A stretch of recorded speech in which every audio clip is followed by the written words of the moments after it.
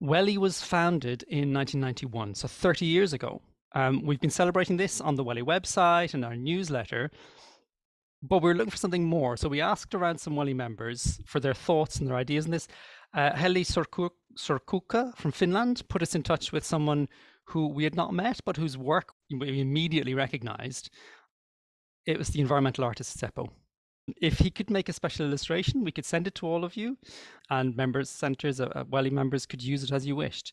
And we wanted something that could make visitors smile and inform them too. And and uh, when we met, yeah, we knew it would be great. Um, I'd like to introduce Seppo. So Seppo, if you can turn on your camera and your microphone. Here we have Seppo and Auli. Um, thank Hello. you very much for joining us. Hello. Could you tell us a little bit about yourselves? Uh, I'm Seppo Leinonen from Finland and I have been doing illustrations about all my life since I was a kid. Uh, and uh, I'm great fan of wetlands especially and birds and fishing. So this wetland thing is very, very, very close to me. I like it very much. And also these wetland centers, they are, I have visited few of them only, but they are very, very um, kind of great places to learn and, and see all these wonderful animals and plants and also get information. So they are great. And my name is Auli. I'm uh, an environmental journalist and I'm helping Seppo with this job and many, many others. Nice to meet you. It's great to have you both. Um, and we have a couple of slides showing examples of your previous work. Here we have um, the Natura 2000 IBAs. Um, Chris, will you click through for the next one? This uh, this was for Ramsar, is that right, Seppo? Yeah, it was actually for Liminka, Liminganlahti in Finland, they have a kind of express posters there, and this is for, for them, but also about Ramsar because they are part of this network. So it's kind of northern wetland. And and that's a really interesting point about that when we were divi- when we were working together to create the, our artwork, we knew we'd need something that would work for the whole world.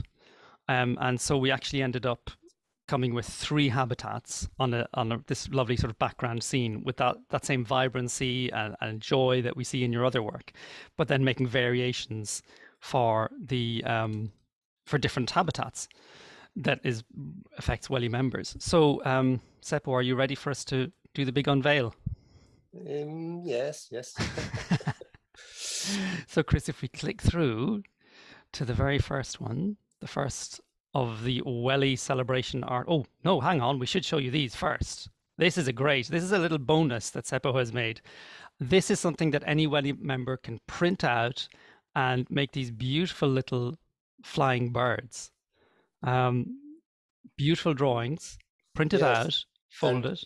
And, and yep. they are, they come like this. You can print them on the paper. Then you can, can fold it like this, cut it out, the bird out, then you bend, bend these uh, wings up and down so a bird can fly. So kids can kind of learn how to uh, how birds fly. And for example, you can put some on the floor fish or or some um, mussel or or some bird food. What what do, what do they eat? And bird, birds have to find their own food or you can use them anything you like like but they are quite funny. So the species. This is godwit but the others. then there's an osprey. Uh, and uh, then a pelican.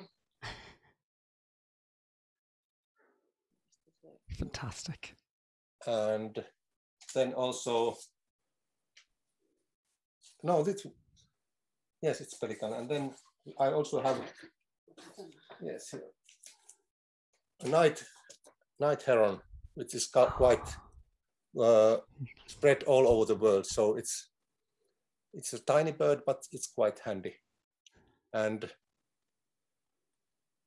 actually, I invented this when I was a kid. Really? I, because I didn't have much toys and and I was very interested in birds, so I I played with this as a kid. They nested in my mother's uh, flower pots and other places, and uh, you know bookshelves were kind of rock mountains, and there was eagles, and all the birds were, of course, birds of prey, eagles and hawks, and not any anything like godwits because sure. they are not they were not cool when you are a kid, but now they are cool. Okay. Absolutely. I, I love the idea that something you created as a child will actually spread to many, many children through through the WELI members, right? Wetland centres around the world can use it. Yes, and, I think yeah. they are, these are nice for kids because you can also make your own. You can draw your own own bird, and it's very easy. You can do them anywhere you like, and so the kids can make their own birds too. And color them too.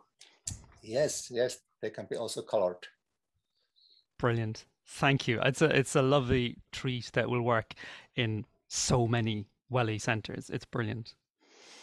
Uh, now I think we move on to the grand launch, the grand reveal. So Chris, if you click through to our next, ta-da! So Seppo, t- please talk us through this uh, temperate scene.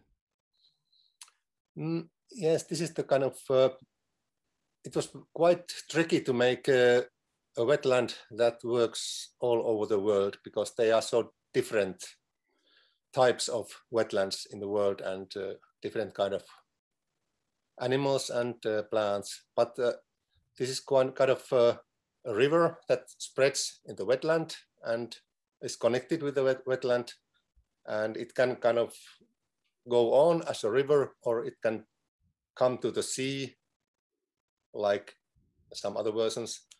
Uh, problem was the species because the species are different in different parts of the world. There are some some species that are very widely spread, but not all. So I made uh, all these animals are in their own layers. So if it's if needed, they can be changed in in these different, uh, for example, tropic. There are so many great species but they they also are different in different parts of the world. So it's impossible to make one size for which fits all poster for. And I think it's uh, also kind of kind of uh, tells you that the wetlands are are great and uh, biodiversity is is ex excellent because it's impossible to make one poster. It was very dull it, it's very dull if you could make one poster and fit it all. But that's why there's also a possibility to change these pieces if needed. I think we get an idea of that, Chris. If you click through to the next one, we'll see how the idea that there's layers here, that there's a, a base image and then different layers. Um, in this case, we have the tropical one. Um, Seppo, it, this isn't just about wetlands, it's about wetland visitor centres and wetland education. So, can you tell us a little bit about how you in- in- incorporated that in your painting?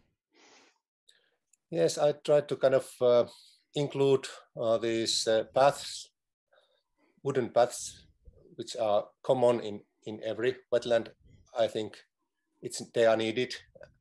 Also, also these uh, bird bird watching in Finland we, we say bird tower, but uh, bird hides, uh, they are very, very handy.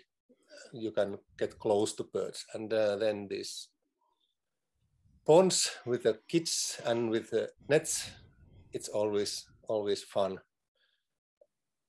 And one, one good thing in wetland centers is that people, kids and adults, they learn that there's so much living in the little ponds also. They, after that, they can find these things also in their yard or backyard ponds, and they can kind of learn that these animals are almost everywhere, these small creatures. And and also these uh, uh, mosquitoes, dragonflies, plankton, and other small creatures, they are in on layers because also these mosquitoes are almost everywhere and also dragonflies, but, but there are some other special animals that can be added if needed. For example, photos can be put there. Fantastic. Mm. Chris, will you click through to the next one for us? So we also have a mangrove. It's a mangrove, yes. So we're making it. Sorry, go ahead, Seppo. No, no, just the mangrove mm, because it's uh, also connected with salty water. I had to think, well, are there mosquitoes in the mangrove? But I thought there must be. but but because in salty water there's no, there are no there's no insects, water insects living, so it's, it's quite difficult to decide how to do it. But yeah, I remember at the, the start of this process, we gave you a lot of photographs uh, um, from WELI members around the world, to, just to sort of suggest the variety of habitats and activities and wetland visitor centres that are out there. And then I know you did a lot of research as well to try and figure out how to put it all together. So we, we really appreciate the work you put into it. And it is this joyous image. Every time I see it, it just it just makes me smile um, which I think is brilliant. Um, we are probably going to print these around A1 size, but part of what we're doing today for WELI members is to find out from you how you would like us to deliver this to you. Digital versions, definitely. Like Seppo was saying, the different layers you can use in different ways as suits your needs. So maybe on an interactive blackboard or on screens. Um, and then we're looking on the material to print them. Do we print them double sided? Do we print them suitable for being outdoors or only for indoors? Um, or dry wipe so that you can write on them with markers and wipe it off again. If you would like a, a printed copy of this, I'm sure you would, uh, contact me or Chris. Uh, let me know during this webinar or by email afterwards. You can always reach us at the email address of weli at wwt.org.uk. And this is, uh, yeah, the, the next layer, another layer um, which we spoke about. So, Seppo, will you tell us a little bit about uh, the threats layer? Yes, it's there's plenty of stuff, unfortunately, because um, there are plenty of threats in wetlands. For example, in Finland, uh, uh, wetlands were thought to be kind of badlands. They they were they, people want to dry everything up, and in Finland we have really dried. For example, one third of Finnish, Finland's uh, kind of area was uh, peatland, and over half of it have been drained for forestry. So in Finland, we have been very good in draining wetlands. Uh, and but there's climate change, and there's draining, pollution, irrigation, dams, development. So plenty of kind of threats and but also now, now we have found that uh, wetlands are very important because they can help us to fight climate change. They can help, for example, climate change is uh, increasing rains and so there's, there's more floods and wetlands help to um, kind of absorb, uh, mitigate, mitigate mm. floods. And also when it's dry, wetlands give you water so they they are kind of important. And there's in Britain, I think you restaurate a lot wetlands nowadays because you want to mitigate these uh, floods and uh, so there's also some possibilities. Um, and dams are also bad for wetlands because they they um, kind of the water is not flowing normally and and they they stop the normal um, there's flood and there's dry dry seasons and uh,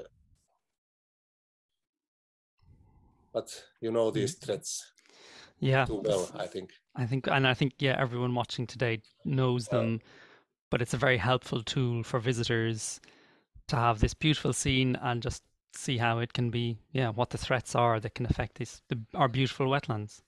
And then the, there's one thing I want to kind of ask you and you can answer later, but uh, because there's also one layer coming, there's arrows. There comes arrows like, uh, for example, how water is going around there. So when it's raining hard in the healthy wetland, it takes the rain and and and then put it in the wetland and gives it little by little to the river. And uh, also the, how the water goes around. And, and then about uh, carbon, how carbon acts in a healthy wetland, it's a carbon sink. Then, and then when it's the destroyed wetland, the carbon is, is disappearing, it's going up. But uh, if you have some something in mind what you need, what kind of uh, kind of activities you need to show with these arrows, uh, it helps me to kind of make this these uh, extra layers still. Fantastic. So if you can stay stick around with us, Seppo, to the end of the session later on in this webinar and also the participants, we can have a bit of feedback, a bit of interaction and, and identify how people would like to use those those layers and those arrows and, and help you draw them as um, appropriately as possible. Um, thank you very much, Seppo and Auli. It, we love the artwork, um, and it has been such a pleasure working with both of you. We've really, really enjoyed it. Um, so thank same, you. Same to you. Same to you. Excellent, wonderful, pleasure. wonderful. Um, and I hope many, many WELI member centres around the world get to show off this beautiful, beautiful piece of art. Thank you, Seppo. Thank you. Conor. Thank you.